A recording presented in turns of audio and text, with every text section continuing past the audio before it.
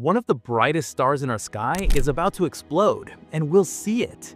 Betelgeuse is a dying red supergiant star in the constellation Orion. It's 700 times larger than our Sun, and has already entered its death throes.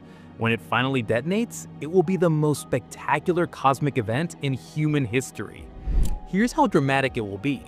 The supernova will be visible during the daytime, creating a second sun in our sky for weeks. At night, it'll be bright enough to read by. This explosion will release more energy in a few months than our sun will produce in its entire lifetime. The event could happen tomorrow or 100,000 years from now. We simply don't know. But here's the mind-bending part. Betelgeuse is 650 light years away, meaning when we see the explosion, it actually happened 650 years ago. It might have already exploded, and the light is racing toward us right now. Will we see it in our lifetime? Drop your guess and subscribe for astronomical updates.